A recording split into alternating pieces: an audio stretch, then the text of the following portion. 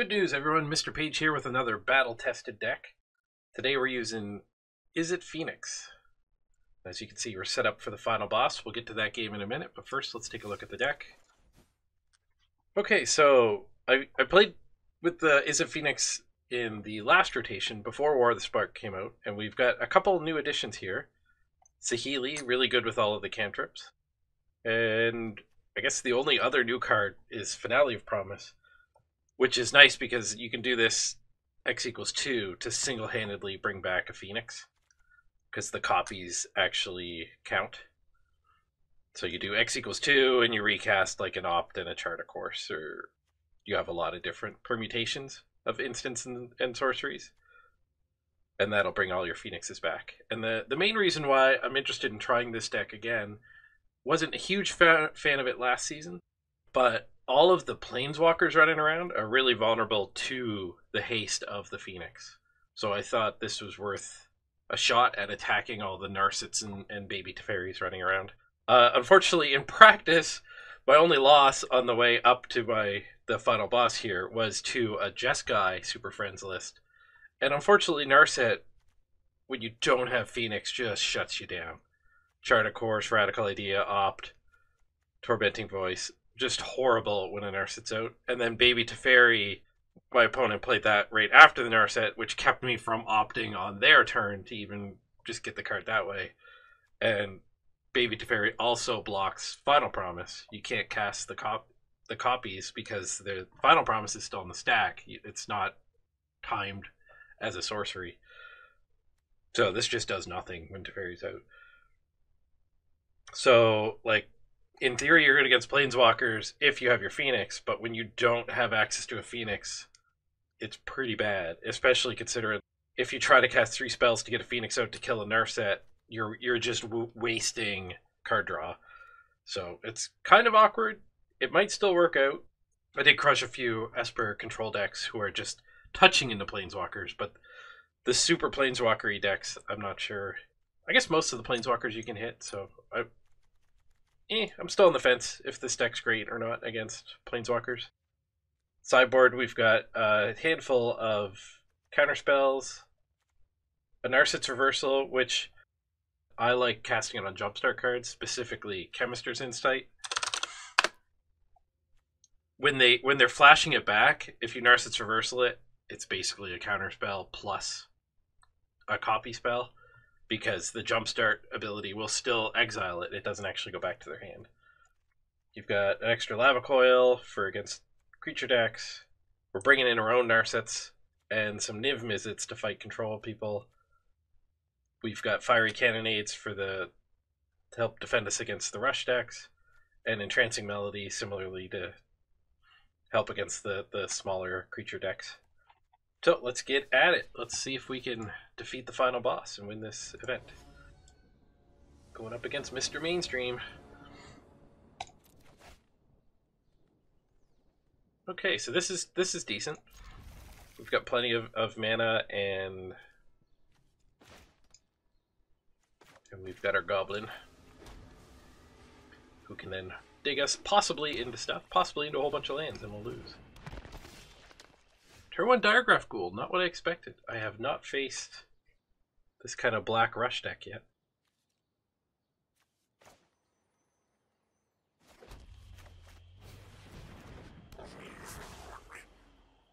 We'll see what our final boss is up to there.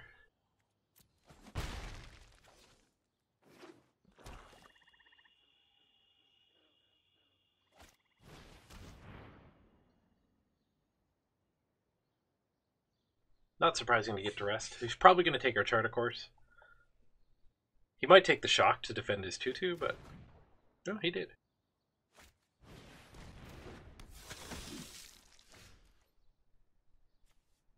Conquistador. So let's start with do we want to discard, I guess is the question. And that you would only want to discard if you if you're hoping to hit a phoenix, and I think I think in this case we just want the extra cards. Because we can't get three spells to actually cast the Phoenix anyway. So we'll just load our hand up here. We drew a shock anyways.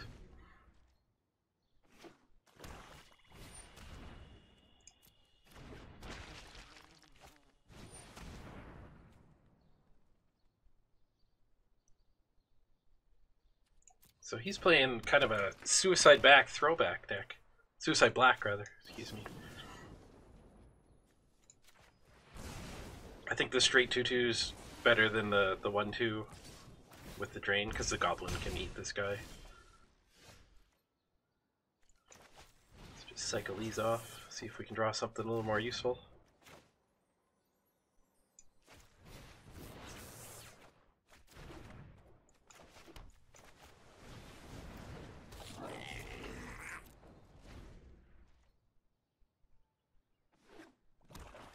So speaking of preying on all the Planeswalker decks running around, this guy's one drop black deck is certainly trying to eat Planeswalkers.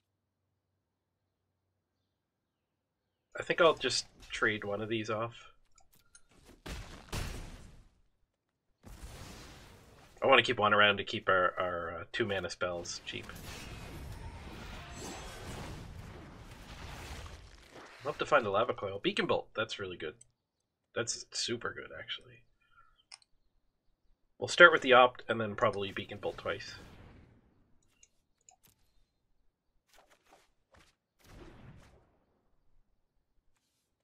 So we can actually go get our treasures and then cast an extra spell this turn too.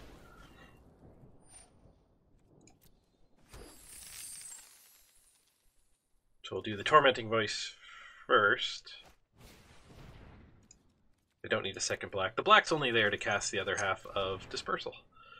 Discovery Dispersal here. And we'll use one of our treasures to get rid of this spawn.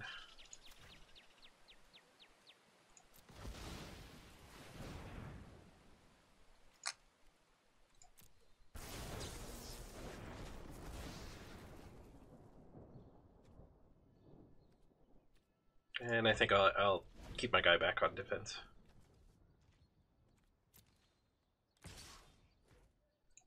Just take this.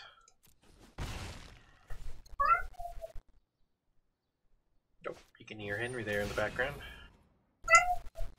He probably wants to go outside. I will be right back. Sorry to my opponent. Sorry to you guys. Well, I'll edit it for you guys. You want to go out, Henry? Back just in time for the rope to appear. Apologies to our opponent. Dispersal looks really good here.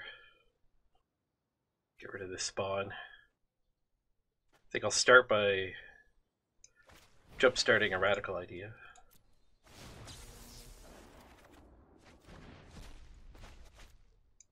And we'll fire off the dispersal.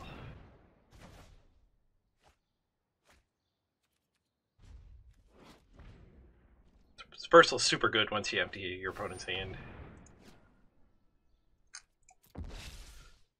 We're getting told. You've been told.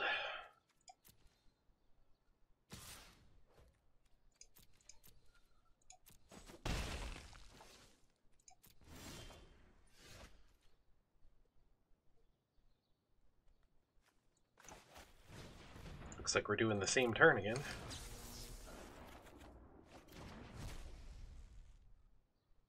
I don't really want to trade the Discovery, though, for a one-drop. I'm going to try to find a Drake or a Phoenix.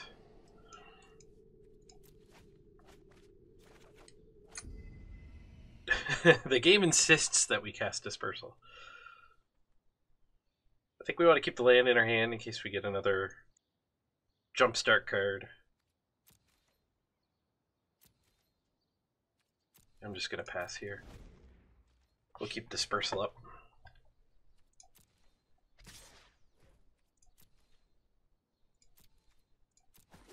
We're getting a little low. We need to find some actual action.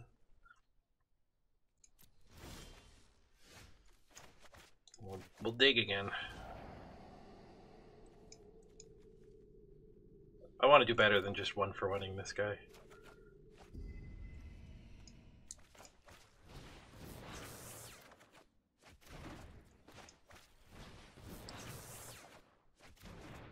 We are drawing a ton of lands.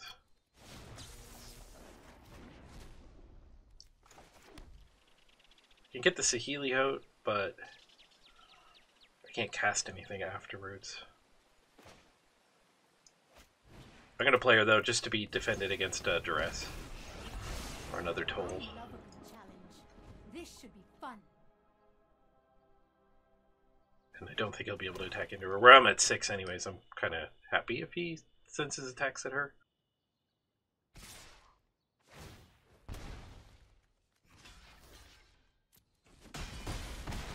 We're down to two.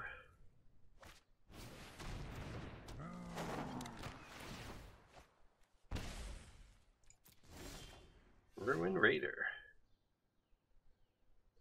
Oh, there's some action. What do we got? Unfortunately, you have to pay x equals 7 to actually do Discovery Dispersal. It adds the two sides together. That might be what we're doing, though. Okay, we have a shock for the instant. And then we can chart a course, I guess? That might be better than going all the way up to Dispersal. Let's do x equals 2. Do the shock and... I Guess we'll do the tormenting voice. We want to pitch that steam vent anyway. Get rid of this guy.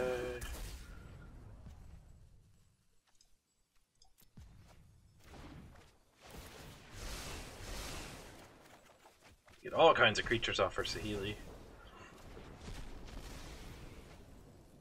You can pitch the Phoenix to this, and he'll come back for the combat step.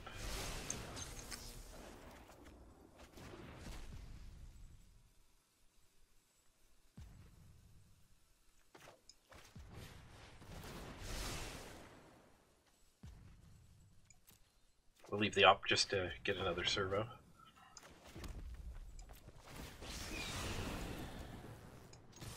So we got plenty of blockers. We'll send the send the guys who can attack in. Unfortunately, the Phoenix doesn't come out until after your main phase, so you can't Saheeli uh, servo to give it haste. Okay, so Cannonade's definitely going to be good. Melody's probably going to be decent. What about the coil too? We just want the cheap interaction. What do we want to cut? Could probably trim Radical Idea and an Opt. Makes it less likely to bring our Phoenixes back, but this seems more like a like the Phoenixes aren't the All Star at this point. In fact, maybe I'm supposed to cut a Phoenix. I don't know if I'd go that far. We're just switching some of our card draw into burn. So those can actually work to the three spells. Can't keep a one lander. Maybe if it had an opt, but it didn't. Saheeli.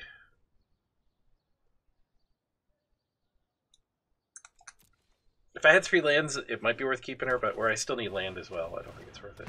Because he's going to be putting pressure on us too, so. Good chance he could just attack and kill Saheeli.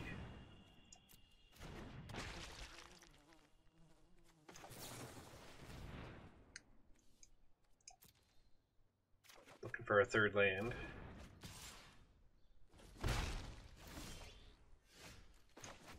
Shock's good to see too, though. We'll just hit the bigger guy.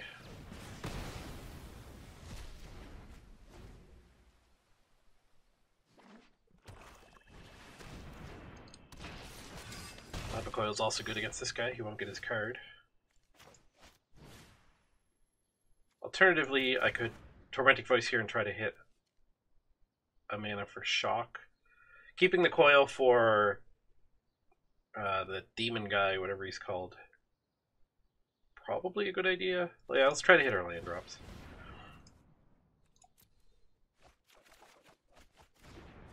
That's unfortunate, but if we're missing land drops, we're going to have a really hard time winning this game anyway. So I think digging there was right.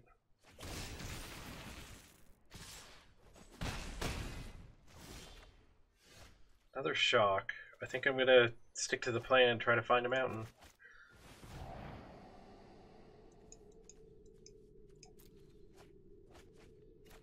Well, sometimes your mana base just beats you. And I mean, true, we could have just fired the lava coil off, but.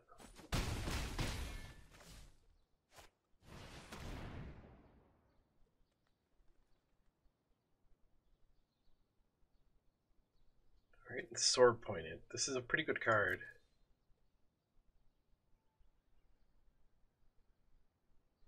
Okay, so decline as he can have it. You can have that. Is that going to do more than three damage?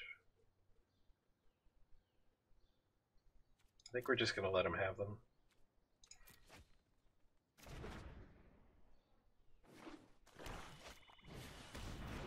At this point, we're just hoping to draw land and, and our pyroclasm. So he's not lethal. Can I have a mountain? Ugh. We just really need the mountain.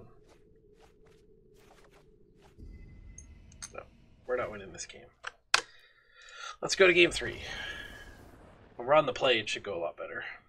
So if I had taken it slow and steady, I probably could have burnt his creatures and stayed even. Unfortunate that we, you know, there were no more lands in the top 10, 12 cards. I don't know how far we dug, but I think we were losing that game anyways. Would have taken him longer to win, but I don't think we would have come back. So we got the Beacon Bolt. That'll help alleviate any mana flood we get this time. Kind of funny we get stuck on two lands, and now this game, potentially we lose to draw in too many lands, but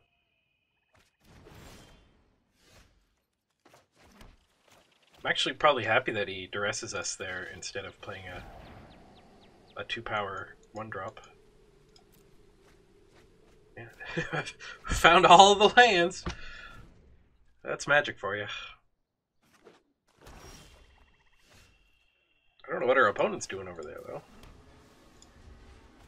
Polar opposite of last time.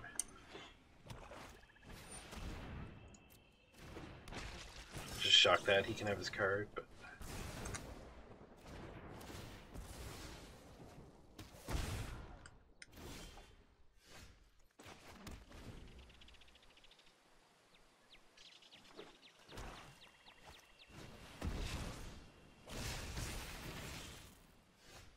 Exactly what we needed. Get some card advantage. I'm gonna play the mountain because he knows about it. He might duress us now.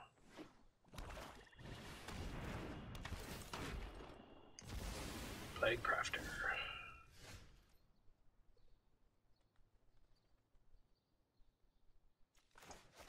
Same reason, just gonna use the Lava Coil so that we're immune to duress.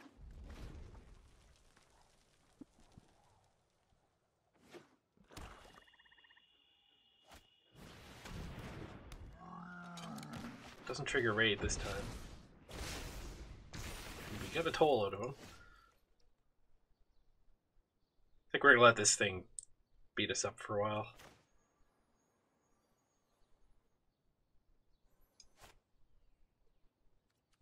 Yeah, I'm just gonna shock this guy.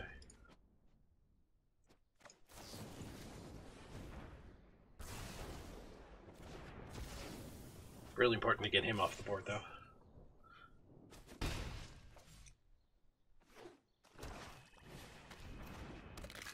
Like this guy's deck. It's a nice original deck. I haven't seen it before. Maybe it's making the rounds. Maybe somebody did good with it somewhere. But it might be a new take on the aggressive decks.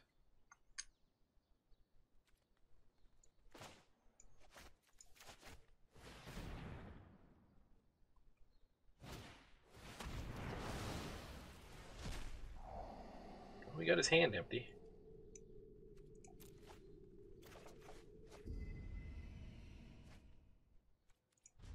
Keep the falls to pitch to the Chart a Course.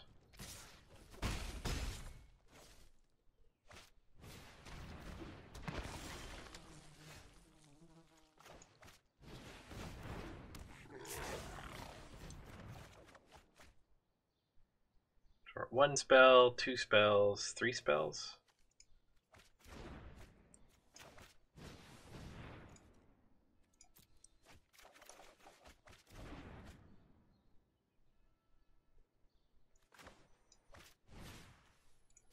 Just lower his pressure as much as we can here.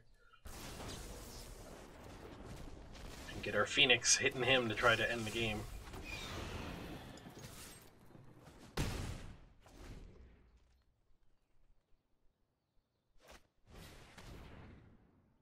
Timely duress.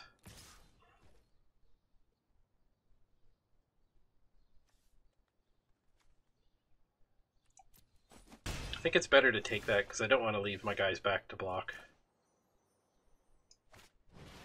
We'll get her out. We'll let her take a hit too. To. Again, I just want to end the game, so we're we're gonna smack them for five.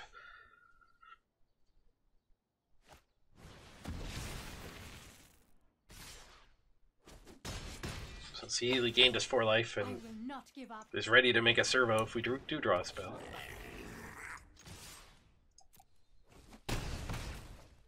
And I'm fine with leaving only one blocker because if he sends both at her, we, we gained another four life. That's fine. And we have lethal swing back. Time to come up with a So he has to block with whatever creature this is.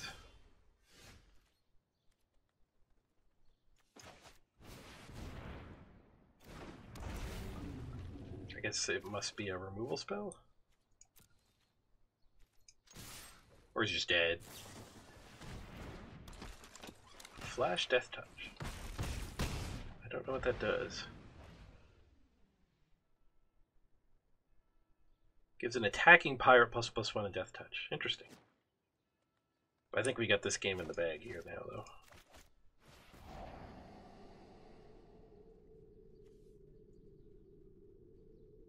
Just throw him in the graveyard for card advantage. I guess we'll take a goblin.